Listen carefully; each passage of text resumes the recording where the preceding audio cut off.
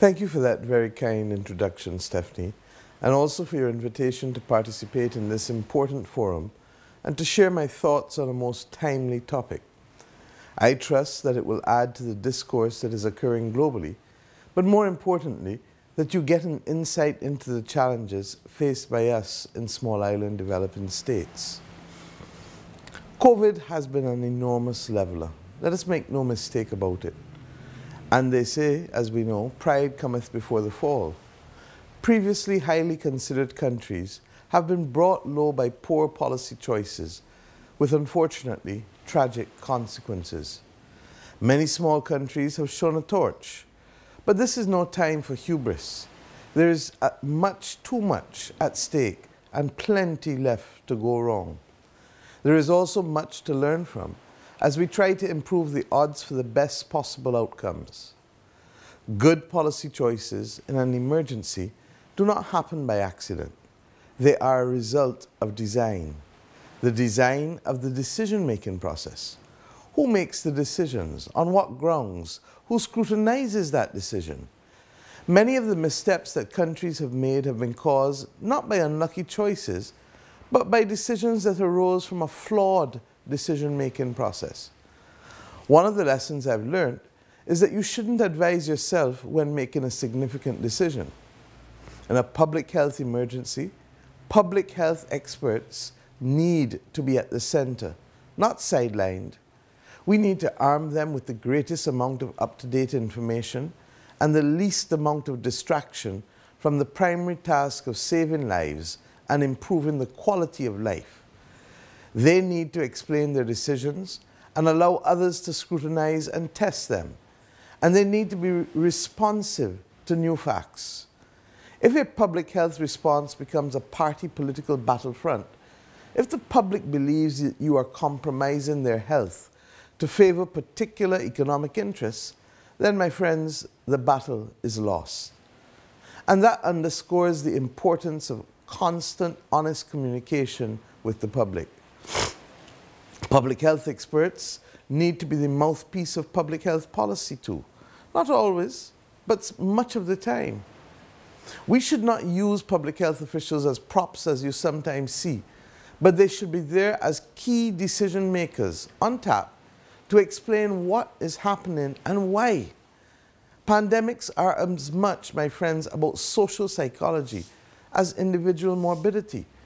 Limiting the impact of the pandemic is fundamentally about changing people's behavior, and that requires credible, trusted communication. Another lesson, of course, is that unprecedented times require unprecedented responses. Not responses boxed in by habit or past precedents or fear of making mistakes or indeed fear of the unknown. Be bold and be ready to change course if the facts require it. The way to make mistakes harm the country least is not to fear them, but to make them in an attempt to respond well and be quick to identify when you have made them, admit them, learn from them, and wheel again, as we would say. The biggest mistake of all, of all today, is not to act. And a critical lesson is that in facing this all-consuming challenge, a challenge to test your mettle like no other, a challenge that allows no time for rest or no time to regroup, it is vital to recognize that this challenge yields opportunities. Opportunities that may not come again, opportunities that must be grasped now today. This is why we have taken this moment to launch an unprecedented initiative to green our tourism industry. To transform our tourism industry, to make it deliver more value, more, sustain, more sustainably to our community, we need them to retrain. We need them to retool all who work in the sector, all from the maid to the manager. This way, what visitors are paying for in that industry is not exploiting our natural resources, not a more massive load on a fragile ecosystem, but indeed a quality experience, superior service, and a safe place to be. And there is a limit to how much you can do, how much you can do all of that when the hotel is full, when guests are demanding, and when everyone is doubling up on shifts. So that now is the moment to do all of these things that can make us come back fitter and better when the industry is in full motion again.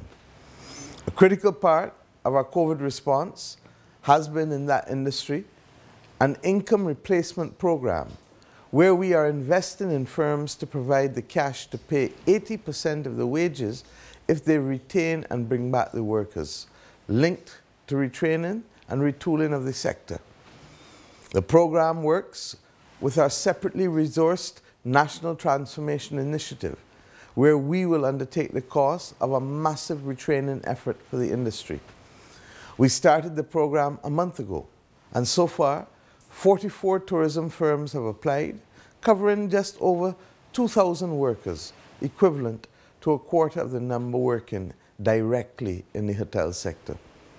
There are signs of recovery, but with a second wave hitting many of our source markets hard in the North Atlantic countries, we know that this is a road with twists and with turns, and we expect this program will end up covering more and supporting far more than even they realized at the inception. This time of pause and acute uncertainty in the industry is also the time to refocus and reshape our sector's infrastructure and to ensure that it is modern, that it is efficient, and that it is green. And so for those firms participating in the Employment Re-Engagement Program, we will also invest in them separately to fund a green investment plan. We have identified as priorities plans that allow tourism firms to switch to 100% renewable energy, to harvest rainwater, to make their furniture, food and drink supply chains more sustainable and more local, and to digitize the processes to improve efficiency in the operations of their establishment. Half of the applicants have already shared with us their green investment plans. This is how we hope to make progress with the Barbados Employment and Sustainable Transformation Program, or what we call for short the BEST program.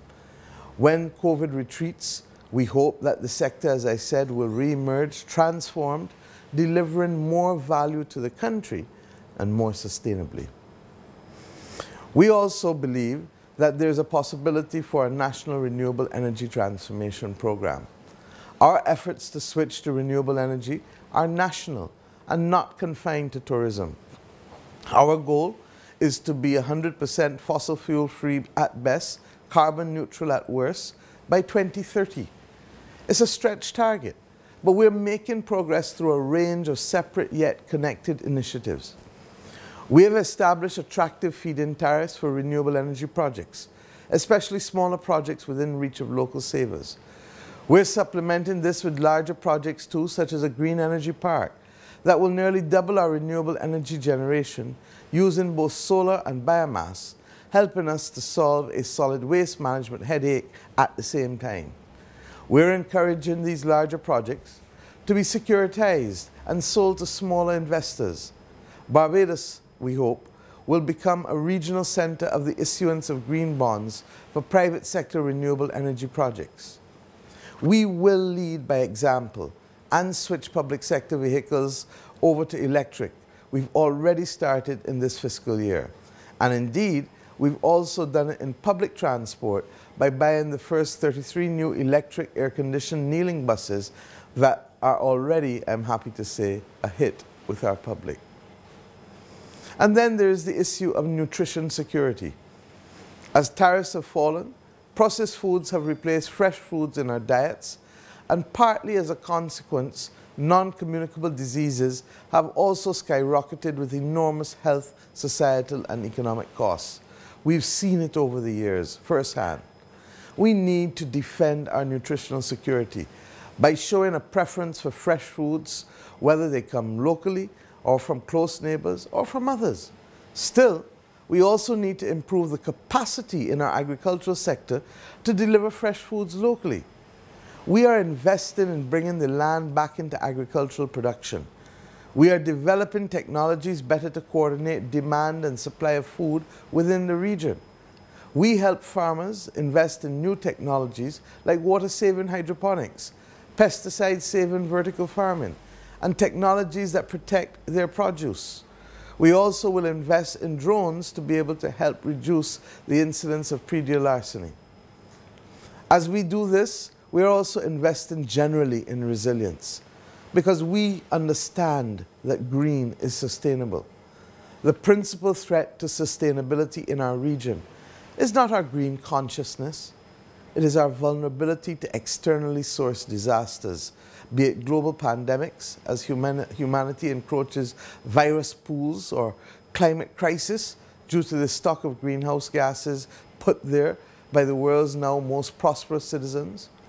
The countries, my friends, that lie between the tropics of Cancer and Capricorn are more vulnerable to rising sea levels, to warmer seas, to more ferocious storms, and to both flooding and drought. You see it before your eyes. Tackling natural disasters and protecting the environment are the single most significant causes for increases in our debt. We're responding in several ways. We've changed our building codes and are building more resiliently. We have the most integrated roofs to reefs program that recognizes that protecting our environment requires a holistic approach from our roofs to our reefs.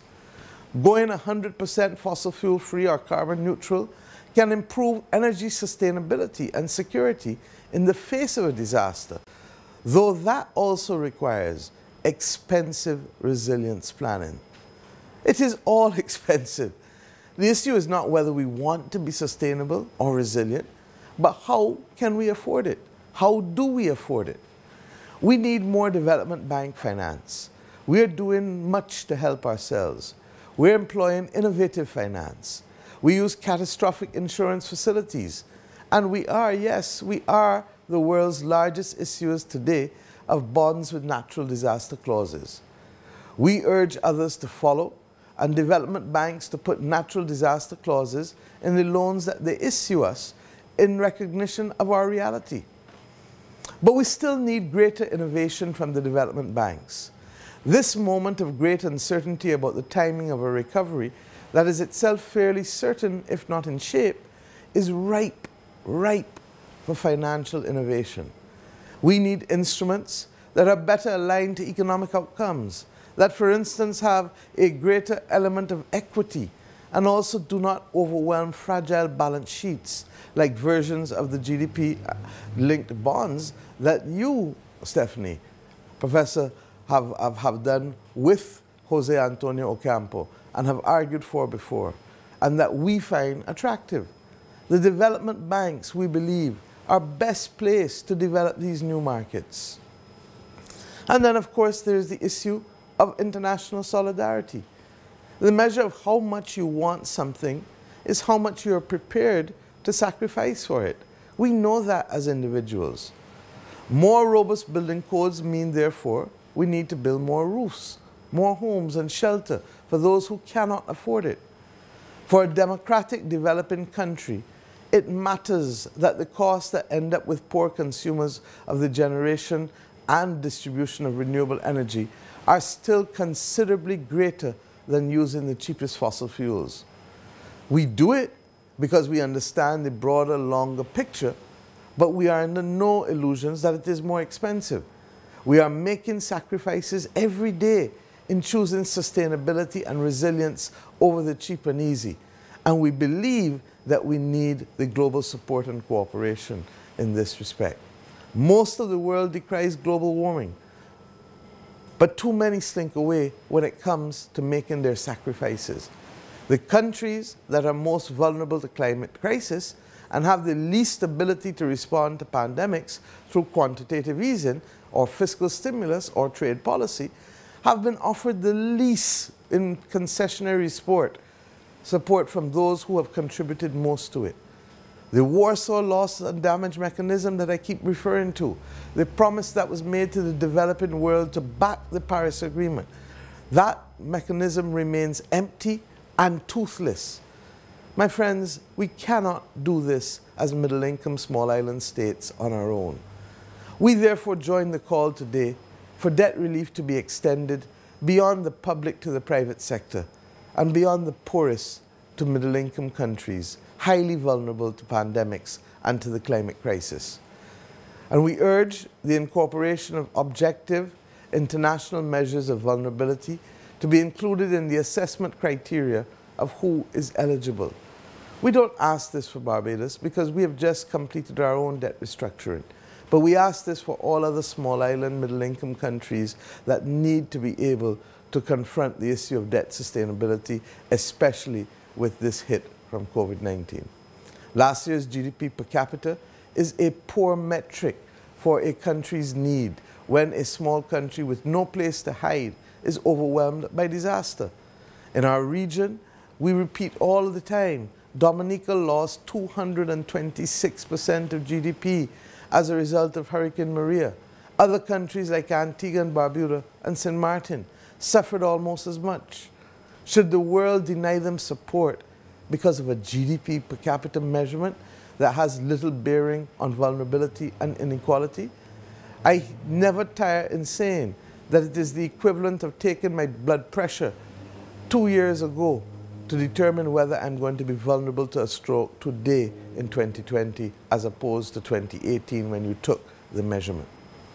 And, and these same countries are the ones that are least able to respond to COVID or climate crisis too small or poor, as we said, to engage in quantitative easing or fiscal stimulus. These are the same countries that some in the rich world are now arbitrarily placing on blacklists for not conforming to rules that they invent with dubious criteria, I might add, that they do not necessarily apply to themselves. Can you imagine that in Barbados, a country with exchange controls, a country that poses zero threat to international finance, that our leaders must take time out of dealing with COVID, of dealing with unemployment, of dealing with deprivation, or of preparing for the next hurricane season, to explain why there is no fundamental basis for Barbados to be on a money laundering blacklist today, a flawed list, arbitrarily and unevenly composed, and picking up a number of countries across the Caribbean, across the Pacific, and across Africa. It is well accepted that most money laundering in the world takes place in countries that are not even on the list that has been published. We are making every effort to green the recovery and to build resilience to climate crisis and pandemics, to make ourselves more resilient to scourges like money laundering. We cannot shoulder this burden so unevenly. We are not on a level playing field. And we haven't even talked to you about the consequences of guns that flood our region in circumstances where we do not make guns. Those in the world who say that they care about the environment and the climate crisis, about political stability, geopolitical stability, must more firmly, firmly step up to the plate. And, and why? Simply put, now is the time. Yes, now is the time. I thank you.